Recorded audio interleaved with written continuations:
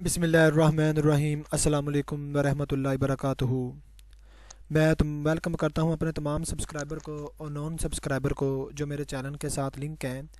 मैं यही कहूँगा, सबसे ज़्यादा पहले कि मेरे चैनल को ज़्यादा से ज़्यादा सब्सक्राइब करें, शेयर करें, ताकि आपको मेरी ज़्यादा से ज़्यादा लेटेस्ट वीडियो आप तक पहुँच सके और आपको कोई डिमांड है वीडियो की सब्जेक्ट की मुझे बताएँ, मैं आपको वो लेक्चर प्रोवाइड कर देता हूँ।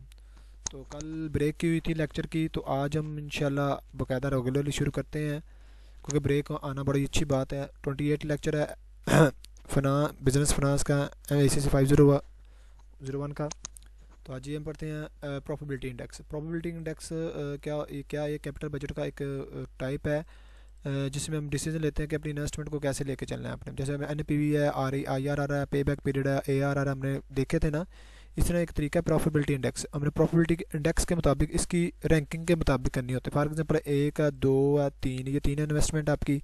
तो आपने प्रॉफिबिलिटी इंडेक्स निकाल लेना। वैसे पह, इसका पहला आता है इसका दूसरा आता है इसका तीसरा आता है। तो इसका मतलब पहले में इसको इन्वेस्ट करो दूसरे में इसको इन्वेस्ट करो तीसरे में इसको इन्वेस्ट करो। तो इसी ये प्रोबेबिलिटी रैंकिंग का एक प्रोबेबिलिटी का एक तरीका होता है। तो इसका ये जो फार्मूला है वो present value of the cash flow होता है। Present value of the cash flow present value होती है for example present value of the cash flow cash flow की जो प्रेजेंट वैल्यू होती है डिवाइडेड बाय आपकी इनिशियल इन्वेस्टमेंट होती है इनिशियल इन्वेस्टमेंट ये प्रोजेक्ट कास्ट इनिशियल कास्ट ये जो भी इन्वेस्टमेंट होती है, आपकी इनिशियली प्रोजेक्ट कास्ट वो आपने लेनी होती है। तो डिवाइड करके आपने करना था प्रॉफिबिलिटी इंडेक्स आपने कैलकुलेट करना होता है। कैलकुलेट आपका करना था फॉर एग्ज़ाम्पल इसने दिया हुआ है टू थाउज़ेंड आपका पर प्रोजेक्ट कास्ट है, और उसके बाद present value future cash flow two two five zero तो then the probability index probability index से देखो कैसे निकालना है प्रेजेंट वैल्यू कैश फ्लो और इनिशियल कास्ट को डिवाइड करते हुए वन पॉइंट वन ज़ीरो आ जाएगा।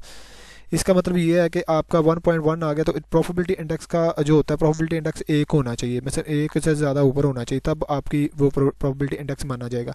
ठीक है? तो उस हिसाब से आपने देखें, ये मतलब उसके बाद उसने निकाला, ये देखें N P V investment twenty twenty कैसे है कि आपकी ये present cash flow present value है, ये इनिशियल कास्ट है, इसको लेस करेंगे तो ट्वेंटी आ जाएगा। ठीक है? ये आपने निकाली हुई है, मैंने आपको पहले बताया हुआ है। ठीक है? अगर उसने कहा कि प्रोबेबिलिटी बिगर देन वन के हो तो एक्सेप्टेबल है और वन से नीचे हो तो नॉट एक्सेप्टेबल है, ठीक है? तो ये देखना होता है आपने, सही है? तो आपने ये देखो, उसने कहा कि जो आई पी आई है प्रॉफिबिलिटी इंडेक्स है टेल एस टेल अस हमें बताती है पर डॉलर इन्वेस्टमेंट हमने पर डॉलर इन्वेस्टमेंट कैसे करना है, वो ये बताती है। ठीक है, जिसमें वो बताया कि one point one zero is value और zero point one is N P V result मतलब रिज़ल्ट एन पी वी का बताया ज़ीरो पॉइंट अच्छी रिज़ल्ट आया ज़ीरो पॉइंट फाइव ज़्यादा आया हमारे ठीक है तो इसका ये बता रहा है। तो उसके बाद ये जो यूज़ होता है performance of the government government के लिए नॉन प्रॉफिट ऑर्गेनाइजेशन के लिए ज़्यादा यूज़ होता है प्रोबेबिलिटी इंडेक्स प्रोबेबिलिटी इंडेक्स ज़्यादातर इनके लिए यूज़ होता है, ठीक है। उसके बाद कैपिटल सोर्स है, इनके बाद कैपिटल जो स्केयरिंग है और enable to purchase allocate the those project highest N मतलब जो प्रोजेक्ट को अपने कैपिटल प्रोजेक्ट देखना होता है तो आप पी आई पी आई के मुताबिक देखते हैं प्रॉपर्टी इंडेक्स के मुताबिक देख सकते हैं। फॉर एग्ज़ाम्पल इसमें देखा हुआ है कि फॉर एग्ज़ाम्पल ये प्रोजेक्ट वन है मतलब फाइव इसकी कास्ट है टेन उसकी एन पी प्रेजेंट वैल्यू है, ठीक है। दूसरे प्रोजेक्ट है दो सौ इसकी वो है कास्ट है एन पी डेढ़ सौ है, ठीक है। उसके बाद आपने देखना होता है देखो उसकी बताया हुआ कि जो फाइव है एन पी वी है, देखो प्रेजेंट वैल्यू ये है कास्ट ये है तो जब टेन में से आप फाइव निकाल दोगे तो फाइव बचेगा एंड पी वन का, जो पी वन एन पी ये है, और पी प्रॉफिटेबिलिटी इंडेक्स टू है। देखो, जब टेन को फाइव करोगे तो टू आएगा, ठीक है?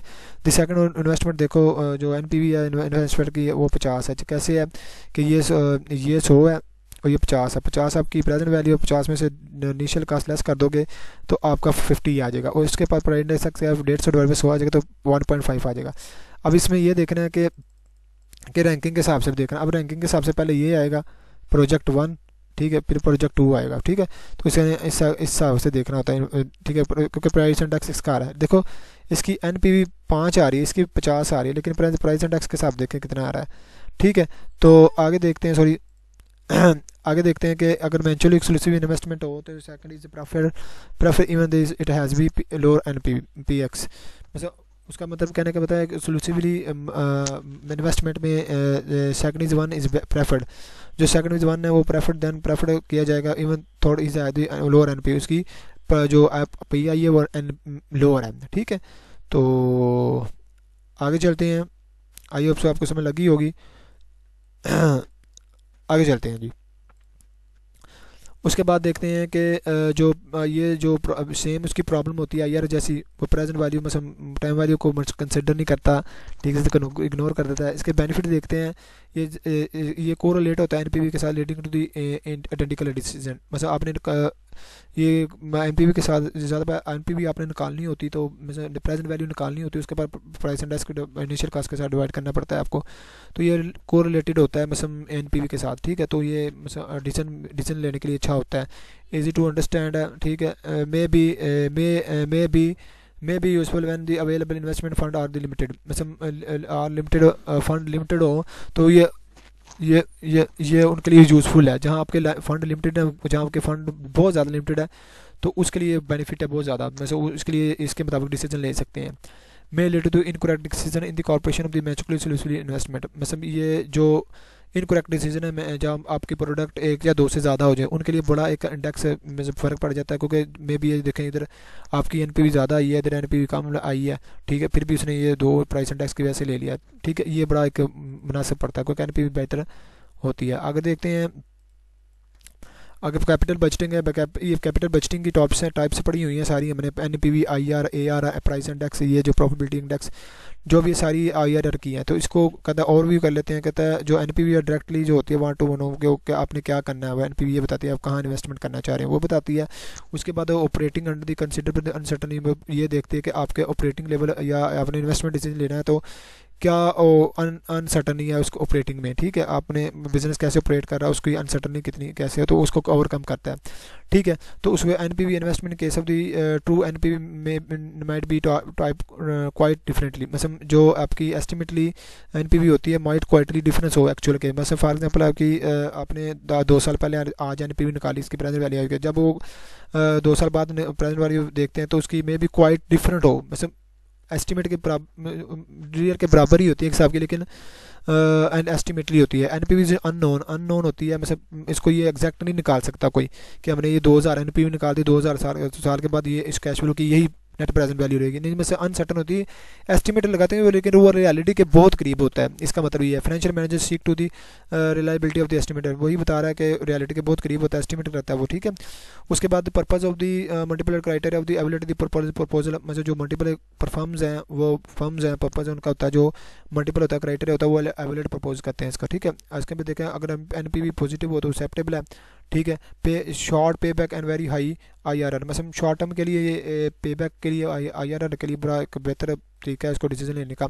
ठीक है, उसके बाद अदर है कि अदर वर्ड्स हैं pay back and I R R the consistent in conclusion of the N P V positive मतलब आपको ये कहता है कि इसमें कंसिस्टेंसी माँगता है कि आपकी नेगेटिव पॉजिटिव हो एन पी पॉजिटिव हो। ठीक है, ये कंसिस्टेंट आता है इसका ये रूल है।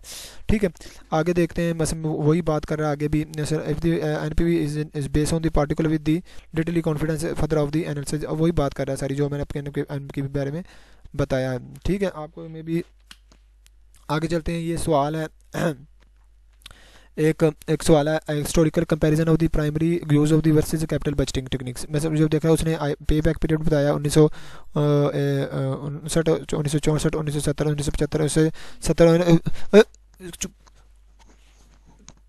आइए देखते हैं।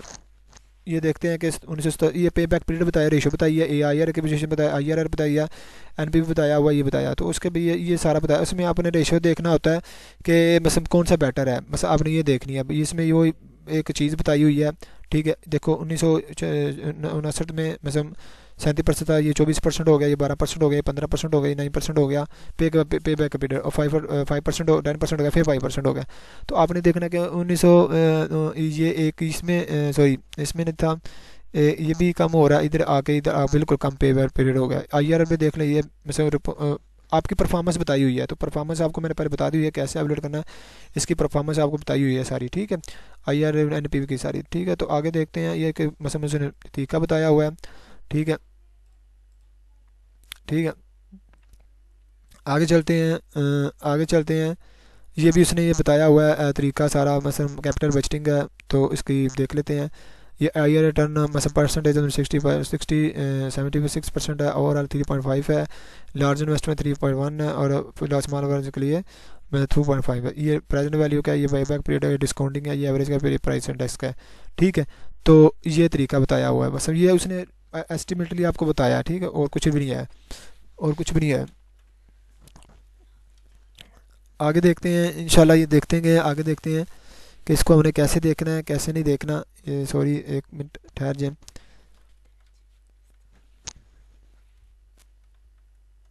एक स्क्रीन को पता नहीं क्या हो गया।